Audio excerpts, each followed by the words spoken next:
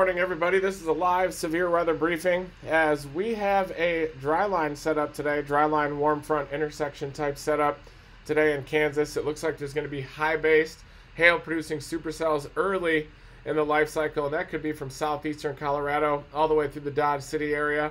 And those supercells are then going to move off to the northeast into that deeper moisture. And tonight, near and just after sunset, that's when there could be an isolated tornado or two, central Kansas, all the way up into southeastern Nebraska, as that warm front lifts all the way up to nearly the I 80 corridor. And um, I'm going live this morning just to do a quick update on this forecast as I just woke up drinking the coffee here. And uh, this is the latest Storm Prediction Center outlook. These are the tornado probabilities. There you can see the 5% tornado probability there.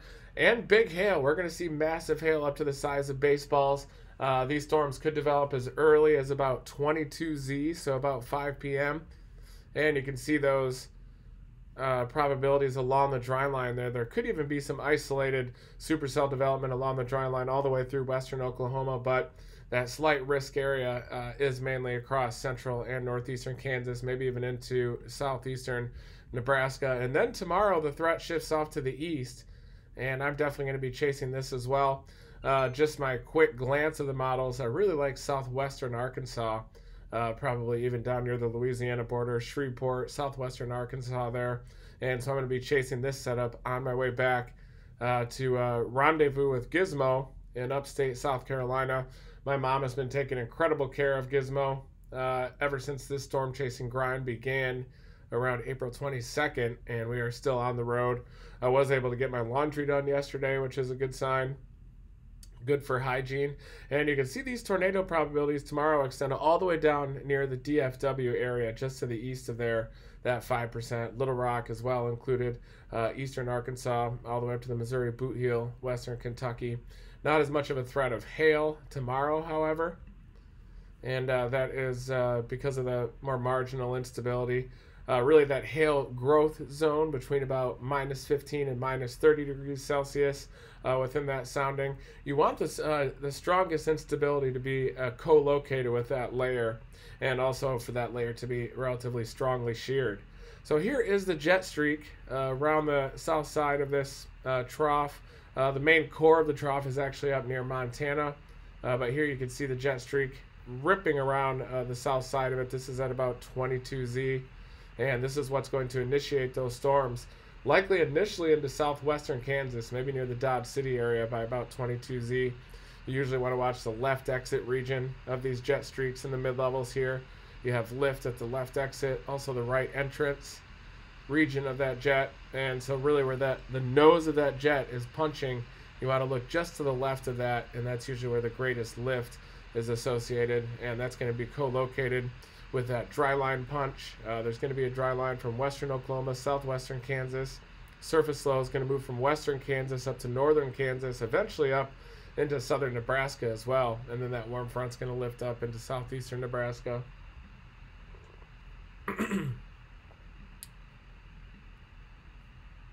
So here is the low-level jet, and it is quite robust, even by 22Z. We've got 40 knots here uh, at 850, so that's a pretty strong low-level jet uh, that we're working with with this system on the HRRR. My allergies are uh, pretty bad uh, waking up this morning, so I know the low-level jet has been cranking all night, transporting that pollen northward. And uh, here is the core of that low-level jet at 22Z, and it's only going to increase as we get near um, sunset and immediately after sunset, increasing above 45 knots. And the nose of that low-level jet is going to be pretty close to the warm front by 0Z. So by 0Z, according to the HRRR, that warm front is uh, pretty close to I-70 and very easily could lift up into southeastern Nebraska as well. You can see that northeastward extension of that 850 low. So you're probably going to verify that low level jet even a little bit further north into southeastern Nebraska. I'm not even looking at dew points yet uh, here on the HRRR. I'm looking at just the shape and evolution of that low level jet, which is ever so important for uh, the low level shear. And look at here at 1Z.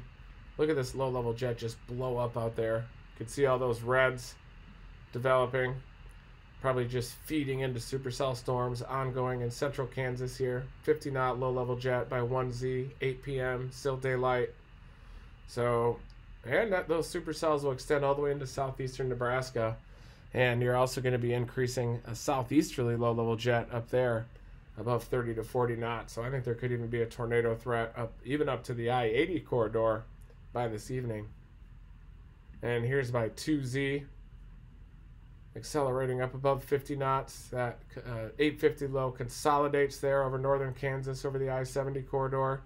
It's possible we still could have storms, even surface-based storms ongoing with strong mesocyclones able to drill through uh, that shallow stable layer. And yes, the uh, HRRR, this is the 6Z one, so we can probably look a little bit even closer as the 12Z is coming in.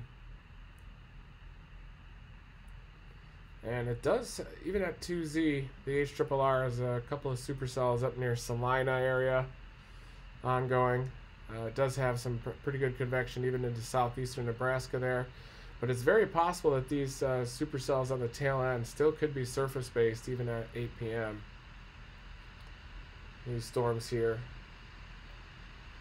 Could even be some high base severe weather back into southeastern Colorado. That's at 1Z.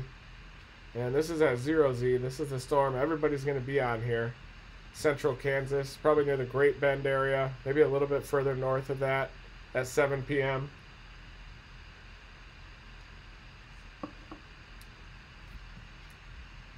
Yeah, allergies are uh, just started, but they get better as I wake up in the morning. Just kind of starts off this way.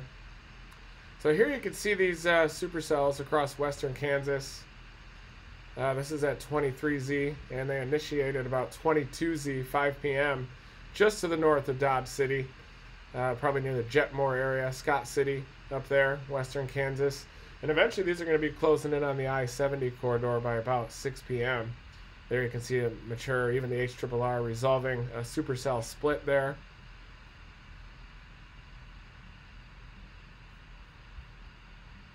And um, this is the southern storm that we're going to be on here. And at 0Z, uh, the HRRR has about 58, 59, 60 dew points up there but I think they are going to verify a little bit higher than this as well.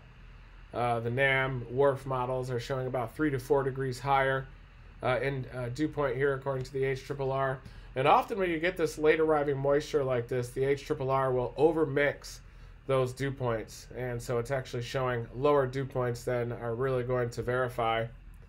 But then as you go just after sunset, you can see the moisture start to increase you can at least look at those trends. Maybe a hint of some pooling moisture along the warm front up there by 1 to 2Z up near the Kansas Nebraska border. So the HRRR certainly shows northern Kansas, central to northern Kansas being the target. And it's going to be late with those storms initiating at about 5 p.m. Likely along this dry line is very high based supercells initially, uh, very large hail as well. That jet streak punching off to the south. Look at these dew points dropping into the teens, single digits across the Texas panhandle. Cold front surging off to the south. Surface low right at that triple point, lifting off to the northeast with the dry line extending to the south of it.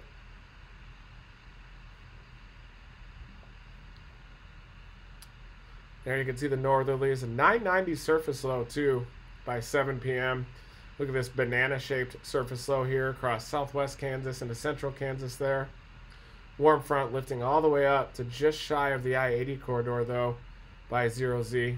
Definitely is intriguing to maybe even play that warm front as it lifts off into southeastern Nebraska there.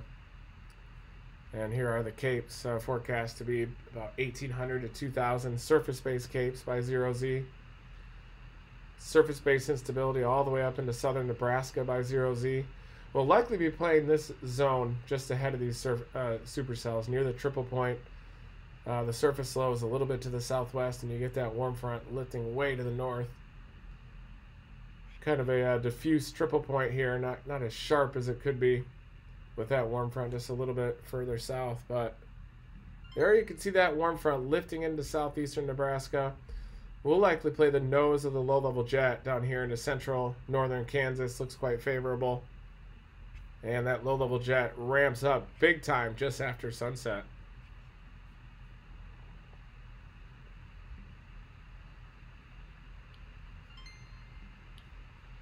Look at some of the um, forecast soundings just ahead of that surface low. And still not much of a cap, even by 0Z. But that's going to be the issue, is this capping inversion. Uh, of course, the uh, HRRR is under forecasting moisture just a bit. You look at the uh, 3 kilometer NAM. But moisture is definitely a concern today. Um, but the NAM models, uh, you can see, are about 3 to 4 degrees higher. And the NAM does hint at some pooling along that warm front, lifting north up toward I 70, uh, even approaching the Kansas Nebraska border by 0Z, lifting up further north by 8 p.m. Maybe uh, into the York areas down toward Hebron.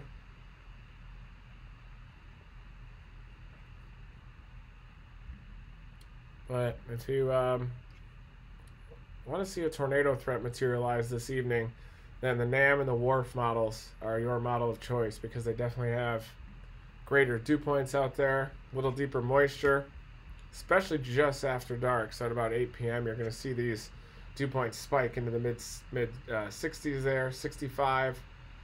Decent pooled moisture along that warm front.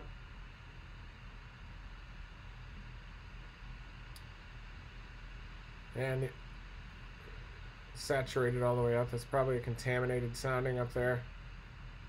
Central Kansas. Decent hodographs and a breached cap with those three to four degrees uh, and higher dew points. I was looking at the surface map too, and there is some deeper moisture down there.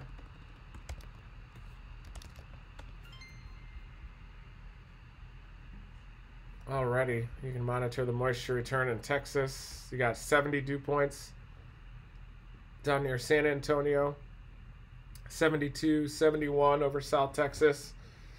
Uh, here in Oklahoma, we've got upper 50s, near 60 right now, but uh, really the mid to upper 60s dew point, central southern Texas off to the south. Uh, but that moisture surge is coming rapidly, almost like a surging density current from south to north, and that eventually is going to arrive here in Oklahoma, wrap into that triple point, mid 60s dew points by probably about 6 to 7 p.m definitely by 8 p.m. this evening as those supercells evolve into central Kansas.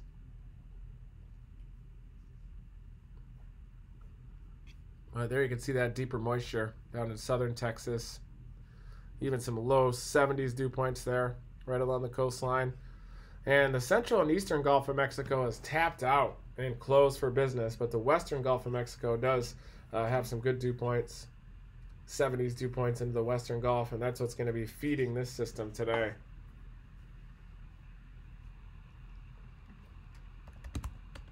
And then tomorrow, I do like southern Arkansas, but that's subject to change. Uh, there's going to be a lot of mesoscale influence tomorrow, complexes, complexes of storms that evolve, and I'm just going to have to watch how that plays out through this evening. But here you can see this Lee cyclone, cyclogenesis over eastern Colorado later on this morning. And that surface low is going to push off to the east towards central Kansas and deepen to about 990 millibars. So it's a pretty deep cyclone here. Uh, if this system had more moisture, we'd be pro- probably talking about an outbreak of storms. And we do have uh, the world champion drone racer with us today, Captain Vanover. Uh, we're going to have uh, Mike Scantlin and Connor uh, behind as well. And so I am excited about that. Uh, definitely excited to try to fly these drones around tornadoes. More just to work on the logistics of that, flying FPV drones around a tornado. But really, the goal would be to approach the tornado at high speed and then go right up the corner flow, maybe right down.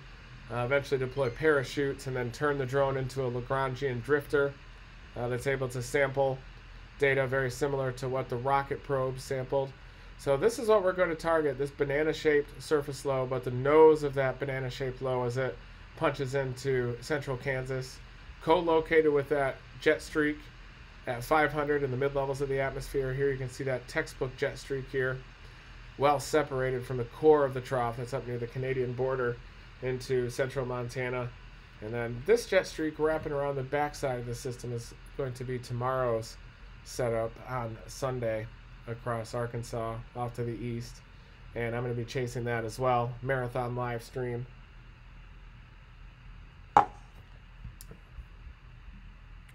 Do need to clean out my car this morning as well. So here you can see the moisture return. If we had another day of moisture return here uh, for this system, then we'd probably be talking about a pretty substantial outbreak. But I also think that the HRRR is way overdoing mixing on the northern edge of this moisture return up here into Kansas. That's why it's got those near 60 dew points. But I think that the three kilometer NAM, the NAM model, this is a more realistic depiction, uh, especially with that very robust low level jet. Uh, the positioning of those 70 dew points already over central southern Texas, even though it is just the morning of the event. So this is new moisture. But it seems like every storm this year has been producing a tornado uh, during 2021. So I think that as these supercells evolve off that bulge in the vicinity of the triple point and move into this deeper moisture where you've got mid 60s dew points, I do think that there is a, uh, a threat of a tornado or two. Right at the nose of that low level jet. You could also argue playing the warm front up into near the Nebraska Kansas border, but there does seem to be a little bit of some decoupling of the nose of that low level jet and that actual uh, physical warm front, even though it is more backed up there along that border. So are likely going to be high base storms though initially when they fire. Then they'll move into that deeper moisture, and there is definitely a chance that they start producing tornadoes. It's a 50 knot low level jet by 8 p.m. So look at that photographing elongate there. That's why the low level jet is so crucial toward tornado genesis because you get these really long shear vectors in the 0 to 1 kilometer layer. Your storm motion uh, here near 90 degrees. Uh, the only net limiting factor here would be this capping inversion. The red line, see how it warms up right there at about a kilometer or two up above the ground. Below that, you've got decent moisture. So really, can these parcels that originate at the surface be enough to break through this? With a strong mesocyclone, they can dynamically pipe through that uh, capping inversion there and actually drill through it like a like a drill. Uh, drill right through that capping inversion and then access that deeper moisture and better instability at the surface. But also, when you get the development of these uh, strong caps, it's often associated with a strong low level jet as well. So there is usually a narrow window during the evening when the low level jet ramps up, when you still have enough instability and you still have a strong mesocyclone able to drill through that cap, when you can still get a tornado threat.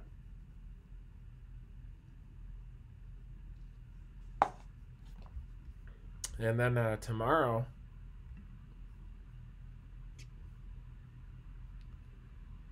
we're going to be uh, working the tail end of this low level jet The core of it launches up toward the Ohio River Valley, and there is kind of a 30 knot low level jet here. The tail end of it, kind of a consolation prize for low level shear here, as this the main core of the 850 system lifts up toward the southeastern Great Lakes in the Ohio River Valley.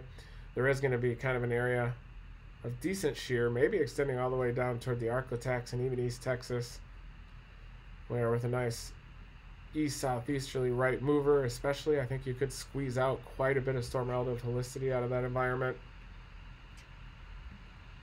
So that does look like a uh, target for me tomorrow. Maybe the Arklatex, maybe down toward the Shreveport area, southern Arkansas.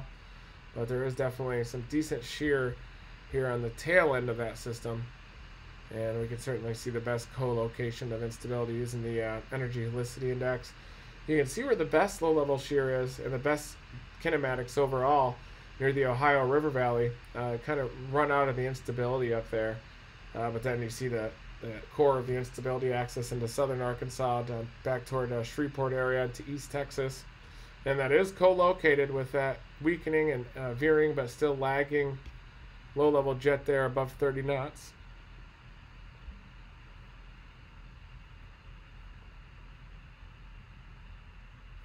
Elevated mix layer kind of high up uh, on the tail end of that system.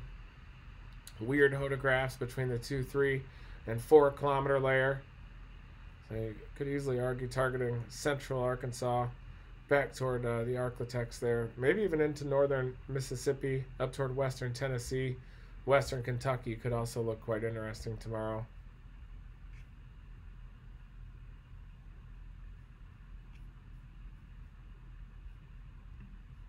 It's May. A lot of the, models haven't been very good this year either in the middle and the long range. But then you can see kind of the dominance of this anticyclone over the Gulf, uh, kind of taking the en- energy out of this next system coming in. So it looks like there's going to be about 10 days off for severe weather season. I could see this system leading to some severe weather still when it ejects because it is uh, closing in on peak season here. But I think that the uh, severe weather season is then going to reinvigorate by about May 22nd, May 23rd, through the end of May and uh, into June. I think is going to be quite active. Looking at the long range. So that's our target area today. Uh, we're going to be leaving here at about 10 a.m. with the drone racing team. I also do have a guest with me today that I wish I could tell you guys about, but it is a pretty exciting day for that as well. Um, thank you, everybody, for tuning in uh, to this weather report this morning. I'm going to continue getting ready for this chase. I got to clean out Dominator 4 and get ready for these two days of storm chasing ahead. Thank you for tuning in again to this weather report. Never stop chasing. I'll be live later on this afternoon and evening.